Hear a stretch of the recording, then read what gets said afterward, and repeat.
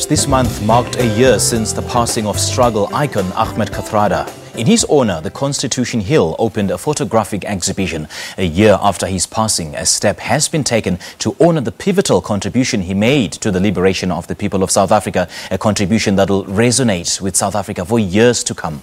Now, the exhibition includes archived material from the days of Robben Island to the times before his passing. And to tell us more about the exhibition, we joined in studio by the Executive Director of the Ahmed Kathrada Foundation, Nishaan Balton. Nishaan, good morning and welcome to Morning Live. Thank you very much.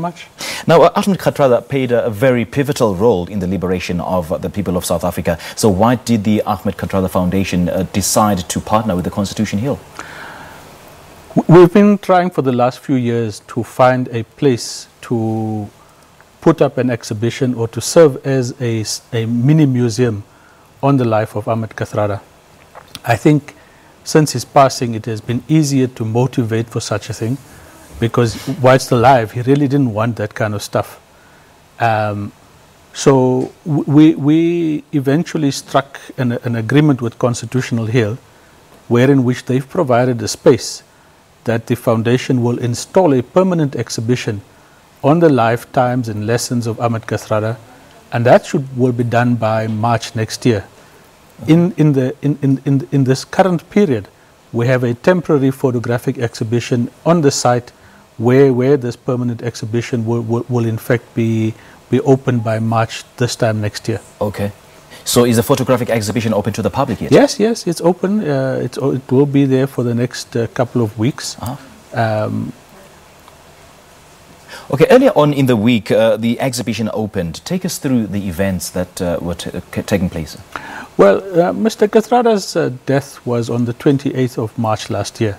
So the 28th this year we did, did two things. One, there was a gathering of friends, family, old struggle uh, activists at his gravesite in West Park um, to, to pay homage to him and to do some prayers on, at, at the grave itself. In the evening, we held a commemoration service. Uh, the commemoration event was addressed by um, Eleanor and Max Sisulu on behalf of the Sisulu family okay. because Uncle Kathy was very close to, to, to, to, to Walter. Indeed. He considered him to be his father. Um, it was also addressed by Frank Chikane on behalf of the stalwarts and veterans, okay. uh, Barbara Hogan, his wife, and Pravin Gordhan, because you will recall that uh, Pravin was fired almost this time last year. Right, right. And his, his, his dismissal became a rallying point in the fight against corruption. Kathrada's funeral became a platform to, to really vent that kind of anger as well. Um, but more importantly for us was a range of young people who reflected on the impact that Uncle Kathy had on their lives directly and their interactions with him. Um, and, and I think for the audience, that was a whole new side to him. Lastly, and perhaps most fitting, were, was a representative of the workers at the flat where Uncle Kathy stayed, uh, sharing their experiences of life with him and also what made him different from most other tenants within that particular complex. Mm. His love, his care, his concern for them, I, I, think is what, what, what came through in that particular speech by one of the workers for, for, from that flat. So you really had an evening of reflection of his diverse interests and the diverse range of interactions that he ha had with South Africans across the board and across the color line. Yeah, and I guess the one thing that uh, people always talk about when making reference to Uncle Kathy is his humility. So, how do you go about collecting material for the archives? We, we already have an extensive archive.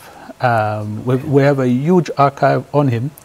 We, we are still, however, gathering stuff um, from different uh, libraries from individuals as well.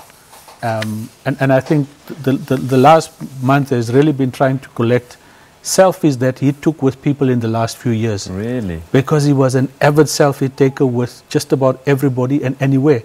And, and, that, that would be a new addition to, to our archival material. Really? I'm quite fascinated by that.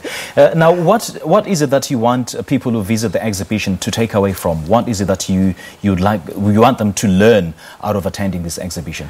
Well, it's a temporary photographic exhibition. Um, but this one deals with his life after, after being released from prison. And, and I think what, what you take away from there is the range of his interest and activism from Palestinian solidarity to encouraging reading to encouraging uh, uh, interest in history. His love for Robben Island, the promotion of Robben Island comes out as a big part of his life um, from, from, from, from 1989, 1990 onwards. Um, his championing of the cause of, of students is, is another big feature of this exhibition. Mm. And you see photographs of Uncle Kathy at, at either WITS or at Union Buildings um, interacting with students just before they all get tear gassed and so forth.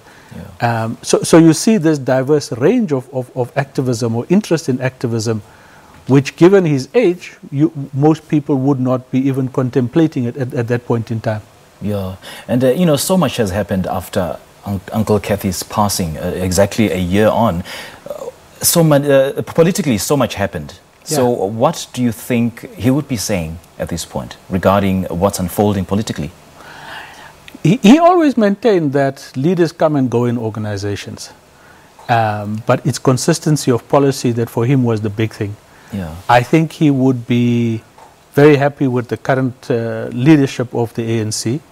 Um, we, he would, however, still be worried that there is a lot of unfinished socio-economic issues that, that still need to be addressed mm. because those were the issues that really pained him um, in, in the last few years of his life. Yeah. And particularly the plight of young people in this country. All right, Mr. Balton, thank you so much for no, chatting to us. My pleasure. All right, that is a director of the Ahmed Kathrada Foundation talking to us uh, about the new photo exhibition on Ahmed Kathrada. Let's go for an air break now, shall we?